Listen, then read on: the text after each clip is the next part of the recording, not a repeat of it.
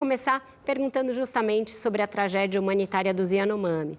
Passados quase dois meses da decretação da emergência na terra indígena Yanomami, o que, que é possível dizer que a gente conseguiu de avanços e, principalmente, como tornar essas políticas que estão sendo deslocadas para lá, políticas públicas que haviam sido é, praticamente encerradas, torná-las permanentes? Tá, boa noite, Vera. Boa noite, Gustavo, Rubens. Helena, Letícia e Luana e todos os convidados que estão aqui, né? Primeiro eu quero agradecer pelo convite, para mim acho que é assim uma honra poder participar desse programa que eu já escuto desde muito tempo, né? E principalmente estar aqui hoje nesse mês de março, né? Esse mês onde é, participa aqui as representações de mulheres que de alguma forma estão lutando por um mundo mais justo, por um, né, um mundo melhor. Bom, é... a tragédia Yanomami não é de agora, todo mundo sabe disso, né? Foram muitas denúncias, foram muitas tentativas de que pudesse chegar o apoio do poder público e tudo isso foi simplesmente ignorado, né?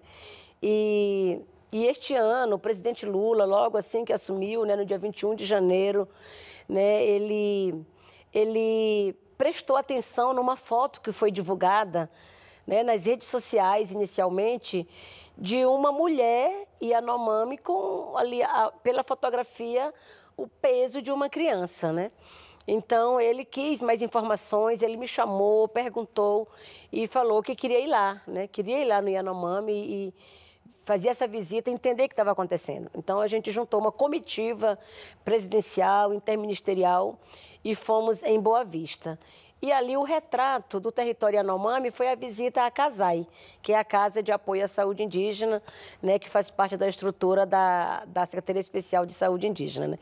Então, ali eh, nós encontramos mais de 700 indígenas Yanomami dentro da CASAI, né, num espaço que poderia acomodar 300 pessoas. Né? Então, aí foi né, é, visibilizada essa situação da desnutrição, que parecia ser o problema do povo Yanomami. Né? Só que é, quando você vai investigar, você vê que o problema não é somente a desassistência de saúde. O problema não é só essa falta né, de assistência, mas a raiz do problema é o garimpo ilegal que impera dentro do território.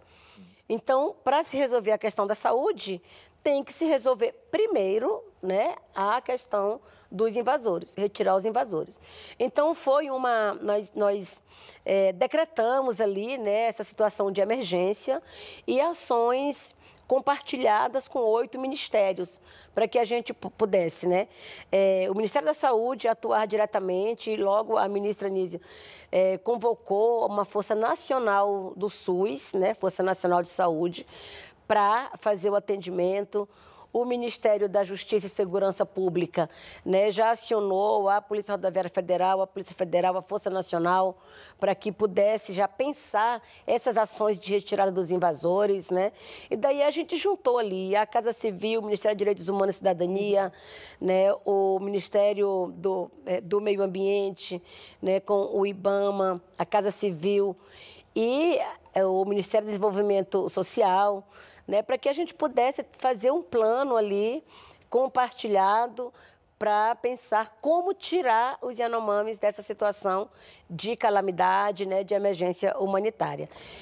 Não é uma situação fácil, não é uma situação simples. O território indígena né, é um território que tem suas complexidades, dificuldade de acesso, né? As pistas de pouso ali não conseguem receber avião de grande porte, como na base Surucucu ali, que a gente precisava ali urgentemente né, de uma pista que pudesse comportar um avião de grande porte, inclusive para levar os equipamentos e a estrutura para montar um hospital de campanha, como assim foi determinado logo no início. Né?